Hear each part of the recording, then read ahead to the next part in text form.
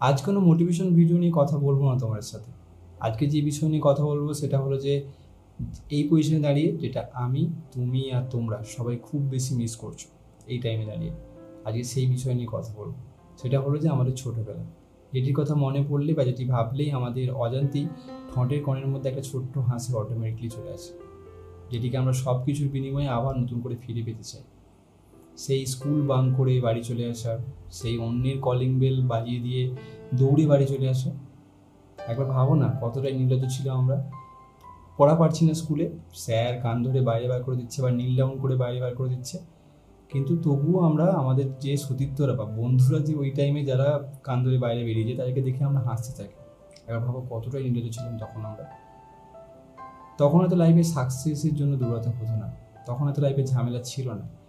তাই তো জ্যামিতি বক্সের ভিতরে পাঁচ টাকা লুকিয়ে রেখে আমরা যে আনন্দ অনুভব করতে পারতাম বা যে আনন্দ আমরা পেতাম, আজকে পকেটে পঞ্চাশ হাজার টাকা থাকলেও সেই আনন্দটা অনুভব করা যায় না বা সেই আনন্দটা অনুভব হয় না।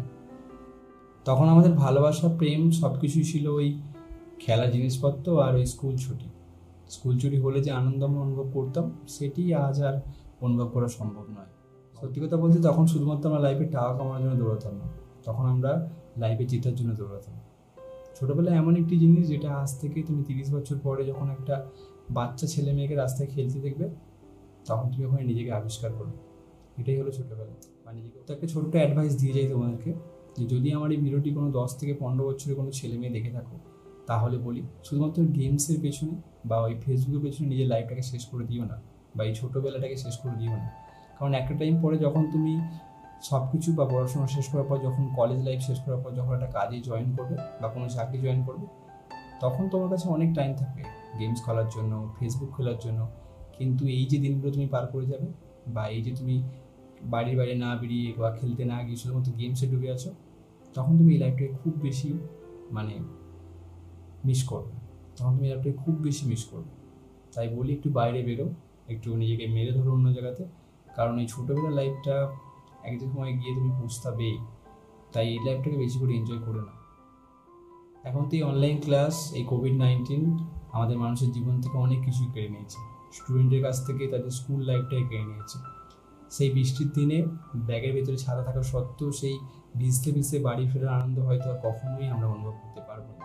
সেই ছোট্টবেলার ক্লাসমেটগুলো যাদের সঙ্গে আমাদের প্রায় স্কুলে মারপিট হতো বা ঝামেলা হতো, আজ তাদেরকে যখন দেখি তখন তাদের সঙ্গে ওই ঝামেলার কথা আর মনে থাকে না। তাদেরকে বুকে জড়িয়ে দিতে ইচ্ছা করে। এটাই হলো ছোটোবেলা। যাকে আমি সর্বদা বা আমরা সর্বদা খুব বেশি মিস করি। আর এটাই ছোটোবেলা যাকে আমরা কোনোদিনও আর ফিরে পাবো না। তো নমস্কার, আমি সঞ্জীব, তোমাদের সাথে আছি। তো আমার ভিডিওটি কেমন লাগল অবশ্যই কমেন্ট করে জানিও।